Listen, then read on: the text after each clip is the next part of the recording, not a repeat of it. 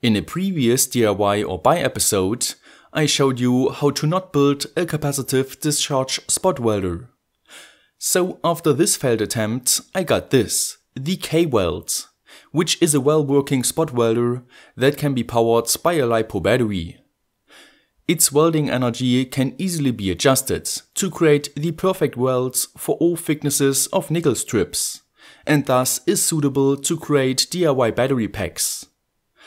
But if you want more information about it, then make sure to visit its website, where we can also find out that a completed kit costs 167 euro, not including a powerful LiPo battery, which sets you back another 56 euro. That got me thinking though, whether there exists a simpler and cheaper spot welder. And what I found was this, the DIY Arduino battery spot welder. According to its schematic, it uses, obviously, an Arduino and a few interface components like an OLED and rotary encoder to set the pulse time of the welds and then it activates a couple dozens of power MOSFETs in parallel to basically short a car battery for the length of the pulse duration to create the welds. You can even buy this project as a kit for around 130 euro. But I wanted something even simpler, without using power MOSFETs as the main power switch. So in this small project, inspired by the Arduino battery spot welder, I will show you my simplified version, which costs around 90 euro and might not deliver the most consistent results, but still works well enough nevertheless. Let's get started.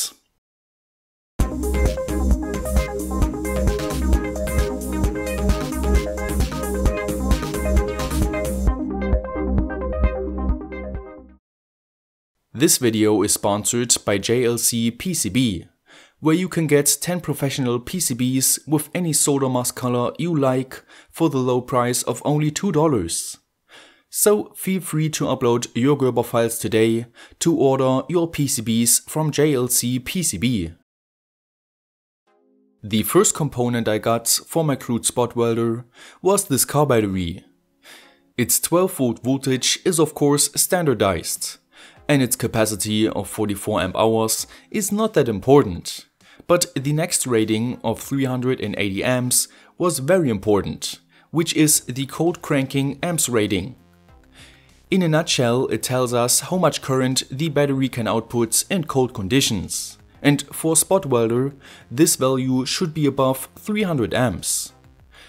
For the remaining power electronic components, I got this big fuse holder with a fitting 200 amp fuse for safety purposes, and this electromagnet battery disconnect switch, whose product page with its spelling error might not seem trustworthy, but after testing this component quite a bit, I have to say that its maximum current of 1000 amps seems to be correct. Basically put, it's a big relay, which after connecting its coil to 12 volts, closes its switch whose contacts we can then use to, for example, short the car battery and thus create a weld. The remaining mandatory components were pretty much all of those, in order to build the control electronics. As the brain, I used an Arduino Pro Mini, which outputs the currently set pulse time between 0 and 100 milliseconds on an OLED.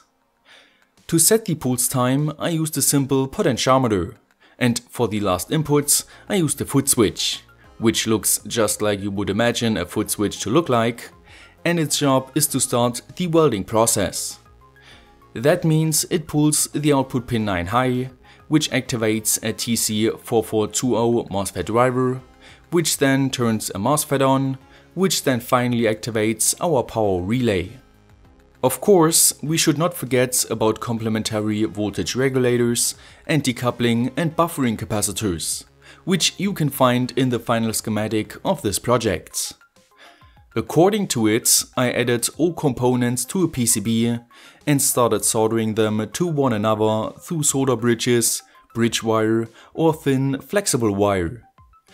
As soon as the circuit was complete, I hooked up an FTDI breakout board to my computer and connected its pins to the Arduino Pro Mini, which means it was time for programming. For the OLEDs I used the Adafruit SSD1306 library, and for the rest I pretty much only used the timer 1, the analog read function and the external interrupt 0. Here is how it works. Normally, the Arduino reads in the analog voltage of the potentiometer and converts it into a pulse duration, which is then displayed on the OLEDs. But if the foot switch is pressed, the external interrupt gets activated, which firstly turns on the pin 9 and thus the relay, which starts the welding process. At the same time, the timer 1 counter gets set to 0 and the compare register 1 to a value which represents the previously set welding duration. The timer 1 counter now counts up to this compare register value and then turns off the pin 9 and thus stops the welding process. Afterwards, the system returns to its normal modes. So after uploading the codes and connecting 12 volt power, as well as the foot switch to which I had to solder wires beforehand, and the relay to whose terminals I not only had to add a flyback diode, but also had to crimp cable shoes to its connector wires, it was finally time for a test. For that, I hooked up my oscilloscope probe to ground and the gate of the MOSFET, and tried out a few different pulse times, which after activating them with the foot switch, always led to pretty precise on times of the MOSFETs. That means it was time for the power wire ring. So I got myself this 10 square millimeter wire and started off by adding adapters to the battery terminals. Afterwards I used a small piece of wire which I tinned on both sides beforehand in order to connect the fuse in series to the plus terminal. Then followed another shorter length of wire which connects to one side of the relay switch terminals and the fuse. And let's not forget that I had to crimp a pretty big cable shoe to the wire beforehand. Nevertheless, next I connected a longer wire to the other side of the relay switch terminals, from whose end I then removed the insulation. Last but not least, I also added a longer wire to the minus terminal of the battery and removed its insulation at the end as well. But since those bare wires would be terrible electrodes, I added tons of solder to them and then used copper nails whose head I snipped off as the main electrodes. And just like that, my crude spot welder was complete. And after setting its pulse time to 20 milliseconds, and using two nickel strips with a thickness of 0.2mm as test objects, it all seems to work decently well. Because after the welding, the nickel strips were inseparable.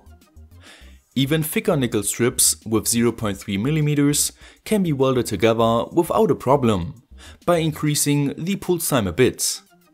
And of course, welding those nickel strips to 18650 lithium ion batteries also worked like a charm. So all in all, after 3 different attempts, I finally got a functional DIY spot welder, which only cost me around 90 euro. I hope you enjoyed this video. If so, don't forget to like, share and subscribe. Stay creative and I will see you next time.